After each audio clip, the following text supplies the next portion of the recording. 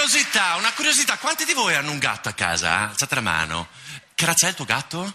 Eh, No, scusa, no, europeo non vuol dire un cazzo sotto il profilo scientifico, no. Scusa, no, siamo in CSI, cadavere caucasico europeo. Chiamalo col suo vero nome, un gatto come B, B, B, B, Bastardo! È figlio di padre ignoto, probabilmente il papà è uno di quei gatti randagi, cazzutissimi, con quei colli alla Mike Tyson, senza un occhio, con un orecchio mozzato, che vanno in giro fierissimi, capito? Che trombano più di Mick Jagger, vuoi le coccole, vai dal gatto certosino della vecchia del terzo piano se vuoi le coccole. Vedete, la natura non è fatta soltanto di aspetti piacevoli e confortanti, non siamo in un film di Walt Disney. Ad esempio, parole come rispetto e reverenza nei confronti degli esemplari più anziani nel mondo animale non sono mai esistiti. Prendiamo un animale mm, che piace a tutti, a grandi piccini, le marmotte. Vi piacciono le marmotte, no? Eh, con quei culoni grossi come Valeria Marini. Ci fanno tanta tenerezza quando d'estate le vediamo uscire allo scoperto in montagna su quei lastroni di pietra che si mettono a fare richiami, tipo...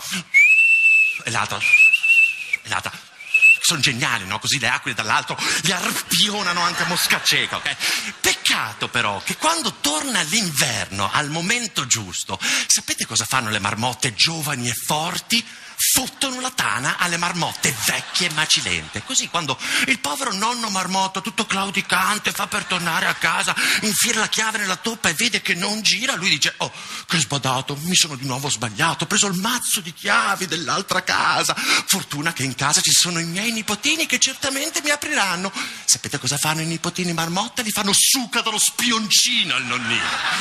Forse è per questo, forse è per questo che io non vedo l'ora di diventare anziano per poter vendicare il nonno marmotta, sì, perché io da anziano farò leva sui sensi di colpa, sulla sensibilità dei miei figli, su tutte quelle piccole fragilità che avrò scientemente alimentato per tutta la loro vita per potermi permettere una serie di meritatissimi capricci senili che in confronto a quelli di una donna in gravidanza sono un brufolo nel culo, ok? Tipo svegliarmi nel cuore della notte, ubriacarmi a tuono e schiacciare freneticamente il salvavita Beghelli collegato ai loro cellulari.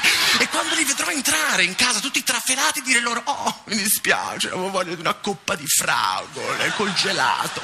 A gennaio. Cioè io non vedo l'ora di diventare anziano per poter diventare un nonno e potermi permettere con i miei nipotini tutto quello che non mi sono mai potuto permettere con i miei figli. Tipo, se il papà farà tantissimi sacrifici economici per pagargli il dentista, il nonnino gli regalerà le caramelle al mu, quelle che si attaccano ai molari, che per togliere si portano via le otturazioni. Io sono però anche convinto che purtroppo la terza età non sarà tutta rose e fiori. Sono convinto che dovrò fare i conti con una serie di traumi. Ad esempio, una volta scollinati i 70, purtroppo mia moglie, Crostatina, sarà ancora viva e vegeta. È in perfetta salute, vi giuro che questa prospettiva mi atterrisce peggio di qualsiasi malattia. Immaginatevi che cosa potrà essere mia moglie fra 30 anni. Ogni volta che faccio questi incubi vengo immediatamente proiettato nel mondo di guerre stellari, perché io mi immagino sempre come un umile soldato dell'impero e lei me la vedo come un cavaliere Jedi che padroneggerà il lato oscuro della forza molto meglio di Darth Fener.